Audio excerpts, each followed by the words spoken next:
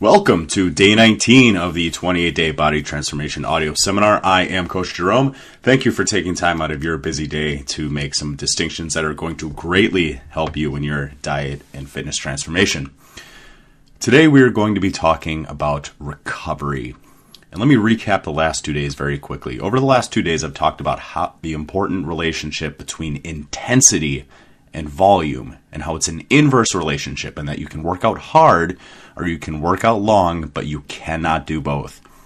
Again, a maximum effort, maximum performance can only be sustained for a very, very brief amount of time. I gave you the metaphor of sprinters, how they can keep up a maximum pace for only about 20 seconds before that pace starts to taper off. And the same is ultimately true with your resistance training. I firmly believe that if you're performing more than five total sets per body part and your strength does not drop off drastically, that you are not working out with sufficient intensity. It also stands to reason that the greater the stress imposed on the body because of increased intensity, the more recovery may be required. Now, recovery is predominantly genetic. Every single trait of the human body is expressed through our genes. Things like uh, height being a little bit more readily apparent. So, on one end of uh, the spectrum, you have very, very, very short people. On the other end, you have giants, and most of us fall into that nice kind of bell curve of the middle. You also have things like uh, skin color. You have albinos on one end, you have very, very dark people on the other end, and most of us, again, fall somewhere in that middle. So it stands to reason that recovery is also predominantly genetically uh, mediated, but it can be slightly aided by things like diet, additional rest, and uh, supplementation to a small degree.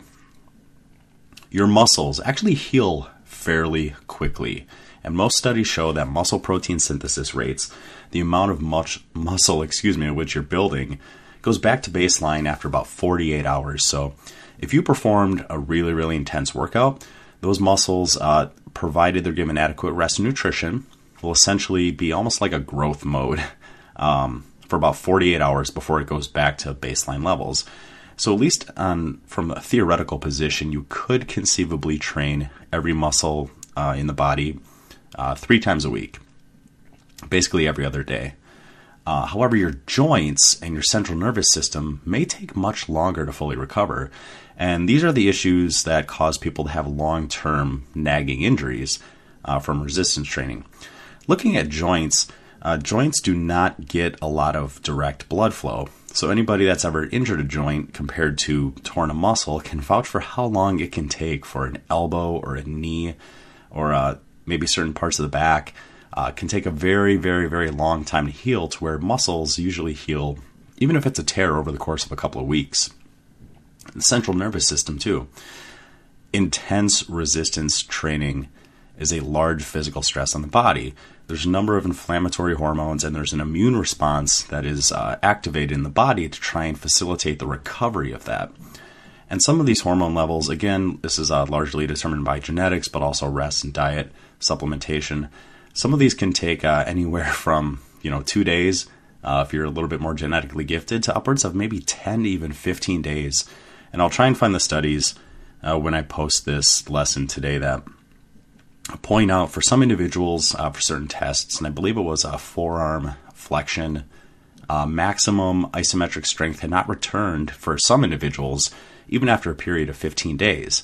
The muscles got stronger, they got a little bit bigger, but the systemic response had not returned yet to baseline levels. But for our purposes, I'm, I'm more interested in joints. I totally reject the idea that if you lift long enough, you will eventually have nagging aches and pains. And this is uh, almost uh, what I see as an axiomatic truth with a lot of um, older individuals that have been in the iron game for a long time. These guys are getting up into their 50s or 40s, are starting to notice that uh, elbows, backs, knees, a lot of the stuff is hurting them and I I suspect there's a number of reasons, but uh, underemphasizing recovery, I believe, is a big part of it. I also think they're probably doing too much volume. I also think they're probably not using perfect form. Uh, but we have addressed one of those, and we'll talk about one of those in a future tape. Think about it though. If you get a knee replacement, and I think we all pretty much know somebody who's uh, had a knee or a hip done, they begin uh, resistance training as part of your physical therapy immediately, with some people the next day after a surgery, certainly within the next week. Now, how could it be that proper resistance training in terms of bodybuilding or fitness can be destructive long term to joints, but can be productive to joints immediately after a surgery? Something very, very invasive and something much more stressful on the body than a set of squats. Truth is, resistance training, properly performed, slow, controlled, intense, with perfect form, is good for your joints, not bad. Actually strengthens your joints. It increases the amount of synovial fluid in your joints, letting them be a little bit more lubricated. If you give your body enough time to rest and recover, it'll increase the amount of cartilage you have in your joints. Resistance training, I will repeat this again, properly performed, is good for your joints, not bad for them. And recovery is a big part of that.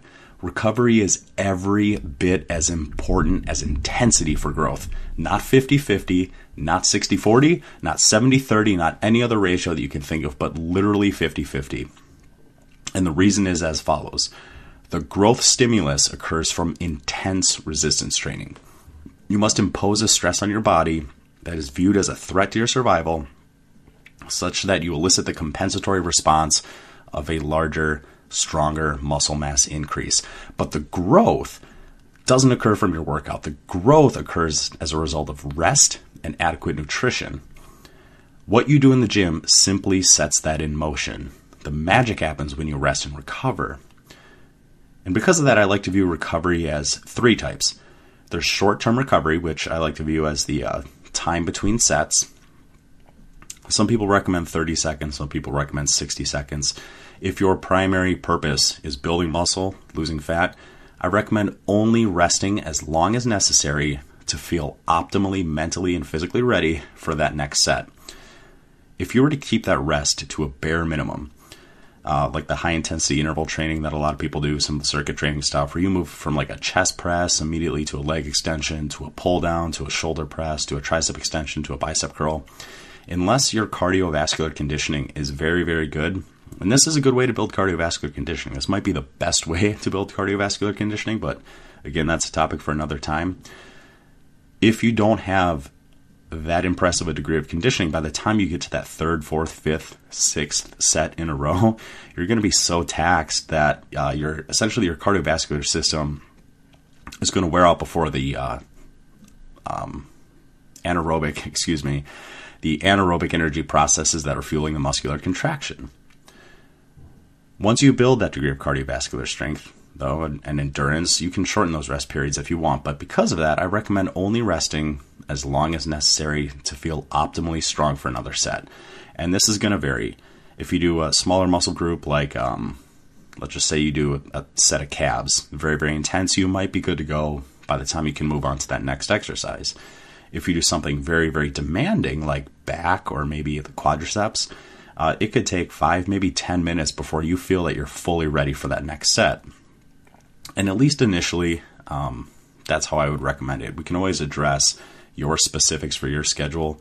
And uh, you can email me, fitcoachjerome at gmail.com. If you want to talk about your workouts, I can help you with some of that. But for now, short term rest, short term recovery, rest only as long as necessary to feel fully mentally and physically ready for that next set.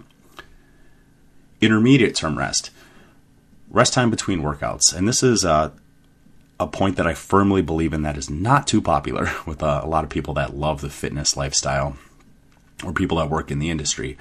I recommend fully recovering after one workout before moving on to the next.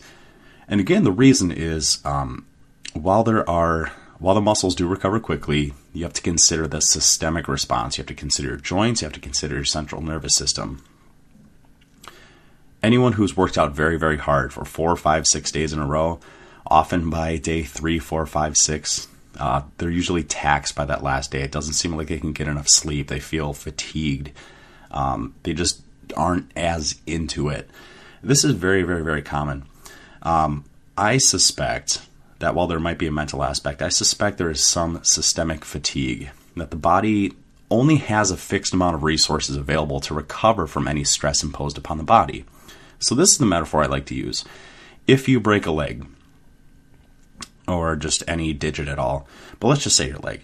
If you break your leg and you put a cast on it, uh, that leg will only heal so quickly. You can have a good diet, you can have good supplements, you can rest, but that leg is going to need a specific amount of time to heal. Performing too much physical activity, walking on that leg too much, walking without your brace too soon, performing too much direct activity with that leg or too much activity systemically as a whole is just going to retard that recovery process. It's going to take longer for that joint to heal. And it's actually possible to do too much activity to the point where that uh, joint actually worsens or that limb actually worsens. I look at your workouts the same way. If you have a really, really intense leg day and your legs are sore and you're feeling fatigued and you're just not in the mood, take the time and rest your other muscle groups, they're not going to go anywhere. It takes a long time before strength loss occurs if you're working out with proper intensity. Based on uh, my own numbers and that with clients, I find that it takes almost a month for some people, and I'm right around that point. It takes about a month before there's any degree of strength loss, and even then, it's very, very subtle, maybe like one or two repetitions, and that strength comes back within a workout or two.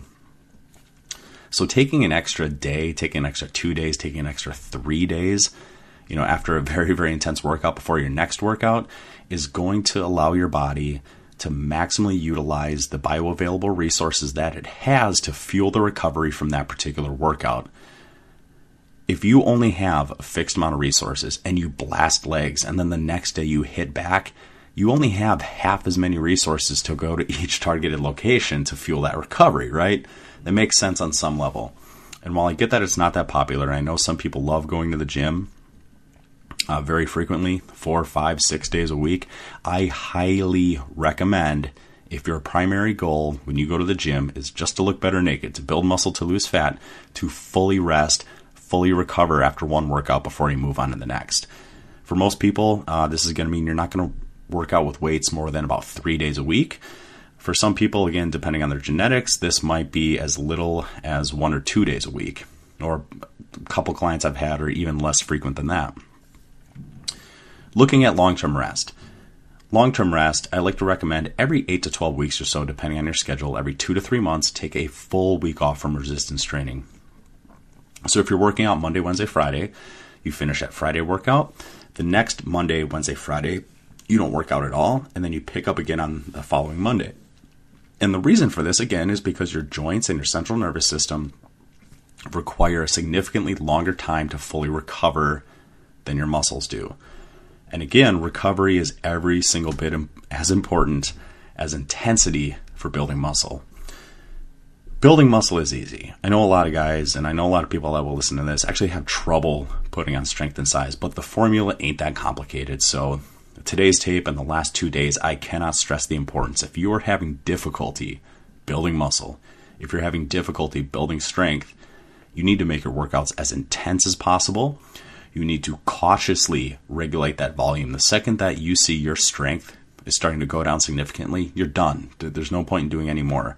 One very, very, very intense set, going to failure through all three levels of strength, is all you need to maximally stimulate muscular growth and size the metaphor again I like to use is uh, performing multiple sets with adequate intensity is about as intelligent as rapidly pushing an elevator button thinking it's going to make it come faster. So after you perform with maximum intensity, you cautiously regulate your volume. You then need to rest and recover. And only once you're fully recovered do you go and do that next workout. That muscle isn't going to go anywhere. The gym is not a social place. The gym is a place you go to put in work, to work on your body, to work on your craft, so you can maximize your physique and have more time, more energy, and more health and vibrancy for other areas of your life. Your assignment today is to consider very strongly uh, introducing additional rest. Whatever workout routine you're doing, uh, let me know. And you should have done that by now if you're listening to these. But at least entertain the idea of taking additional rest days as necessary this will only benefit you, I promise. Thanks for listening, men, and we'll talk to you tomorrow.